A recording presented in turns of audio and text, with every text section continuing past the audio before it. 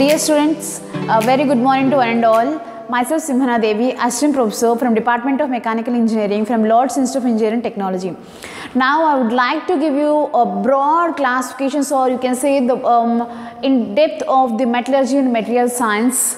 Dear students, as we know that uh, the advancement of science and technology, we find that even the human lifestyle or the living standards are increasing day by day. Okay, where we come across um, many objects or many materials uh, from smart mobiles to smart vehicles. You find uh, different metals, different non-metals, different alloys, different ceramics, composite materials, nanomaterials, metal matrix composite materials. That means in the universe if you consider there are number n number of objects which are made up of n number of metals, materials, non-metals and alloys. Now how the microstructure is actually what is the microstructure of each and everything. For example, for copper, for aluminium, for bronze, for bronze, uh, if you talk about nanomaterials okay? So how the microstructure is going to vary from one metal to another metal or you can say uh, to the non-metal to the alloys or to the nanomaterials that is what we are going to observe in today's lecture. Now let us see guys uh, this is the first one where we are going to focus on preparation and study of microstructure. So how we are going to prepare and we are going to study the microstructure of iron copper and aluminium. As you know that these three are pure metals which are available in the earth crust. Now let me just give you the example okay. Uh, you know uh, normally iron or the copper or the aluminium is naturally available in the earth crust. For example suppose you have taken the iron rods okay you have cut into the small pieces of required diameter and shape.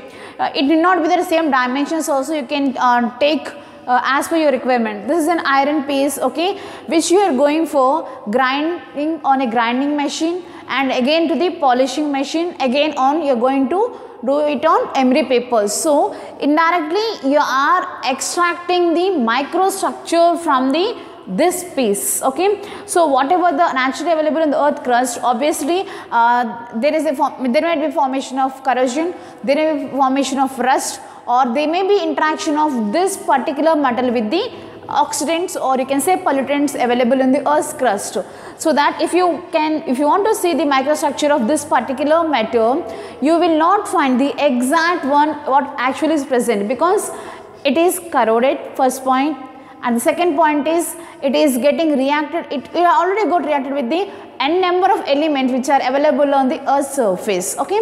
So whenever we want to see the uh, the original structure inside what is actually present we go for grinding polishing then we are going to see final uh, the fine structure of these metals okay? Now let us go through the uh, different um, etchants or what are the uh, chemical setting powder chemical liquid powder we are going to use for preparation of this experiment dear students. Dear students as I have just gave you the uh, introduction to your metallurgy material science material testing lab okay in this metallurgy lab you I told you that you are going to focus on different metals uh, or ceramics or regarding alloys. Now let us see for the first one uh, the iron as well as the um, your copper and aluminium how the microstructure is going to vary okay and this is your cold setting powder and this is your cold setting powder and this is your cold setting liquid. These two we are going to mix in a beaker in a proportionate uh, quantity. For example, uh, let us take okay here we are just going to mix the proportionate quantity of this is your cold setting liquid dear students okay.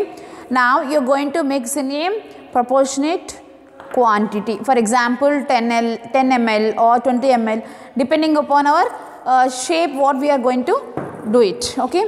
And uh, next one is our cold setting lick powder. This is liquid and this is a powder so if you observe in the beaker almost we are taken 10 ml okay and more we are going to mix here this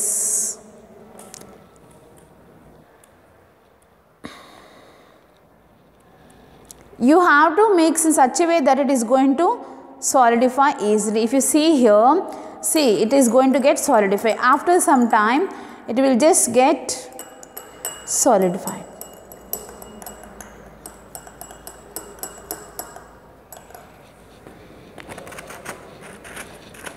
Okay.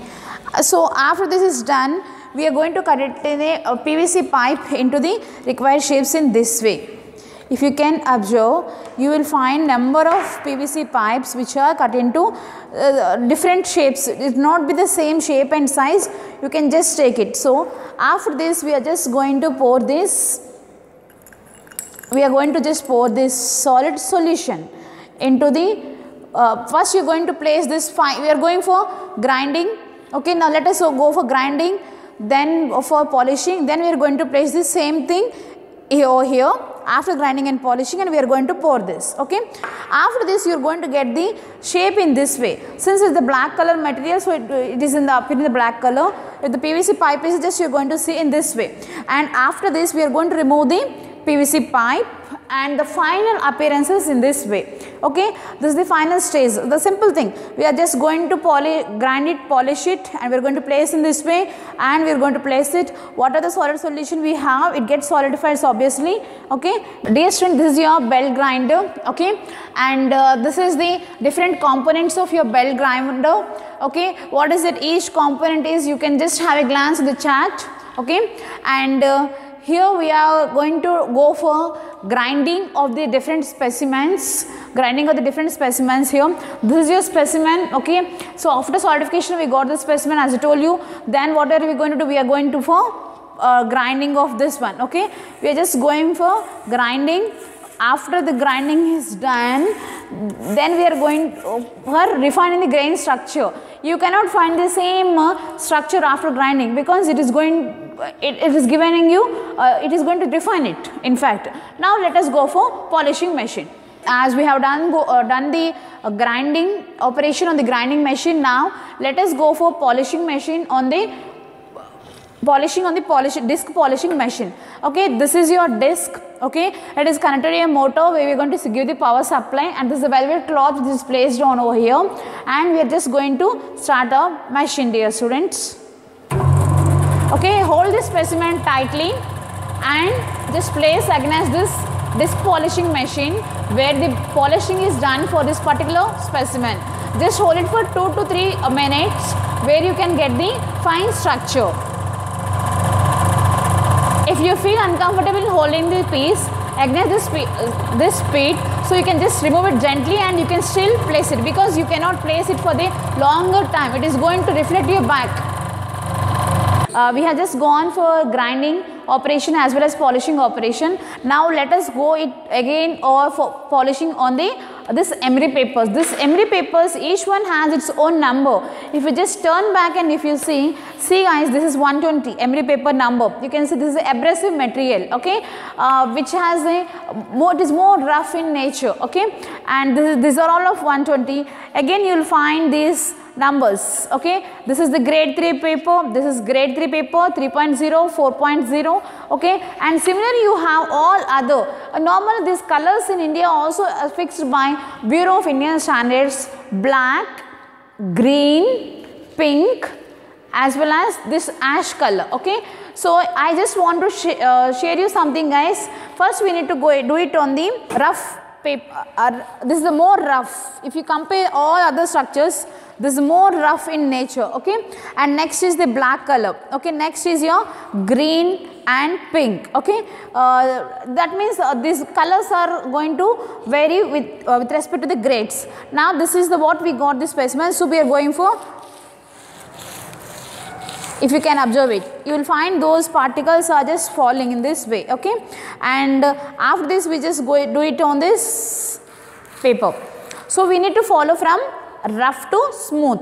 So just do it on this paper for the 2 minutes and here 2 minutes and the green color and the last one is for pink color. So now let us do it for more few seconds okay. It is already refined structure that is reason I am not going this is the pink color one okay you are going to do it for again for 2 minutes. After this we are going to view under microscope. Now let us proceed for seeing the microstructure of this particular specimen. So uh, we have gone for grinding, we have gone for polishing uh, the disc polishing machine as well as the emery papers. Okay.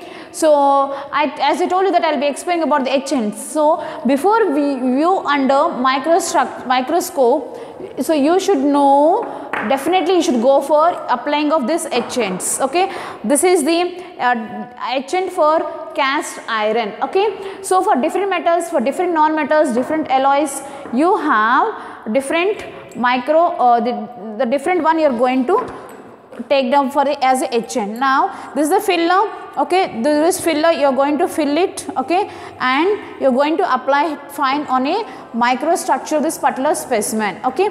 So this is for the cast iron. Similarly you have the different etchants for different metals non-metals and alloys. So after this we will just go for seeing the microstructure of the particular metal or a non-metal or an alloy so students we are done for grinding, polishing and also we have gone for uh, emery papers also. Now this is the fine microstructure okay. Um, we are going to view the microstructure of this particular one under this microscope. So uh, this we just switch on this microscope okay this is the button for switching on okay. Here you have the lens for viewing the microstructure okay? And this one we are going to place under this light. This one should exactly get be focused on this particular light. I hope you all can observe this light. This light should be at the center of the specimen so that we can view the uh, the correct microstructure this particular specimen. Now if you view through this you will find the uh, fine microstructure and if it is not visible to you you need to adjust this specimen as per your requirement. Okay so dear students, uh, for the same specimen we have gone for grinding on the polishing machine, then on the emery papers and we also have seen the microstructure of this particular metal. Now let us see what, what is actually a microstructure of the iron which is going to appear. The first one is in this way. So before using the etchant. Now let us focus uh, in the last I will just letting you know what is the etchants, what is the importance of each etchant okay. Before etching okay uh, before applying the etchant the microstructure is the first one and after applying the etchant on the same specimen the microstructure appears to be so. The final microstructure is this one for your iron and similarly for copper dear students. I hope you understood this lecture today. Thank you all for watching.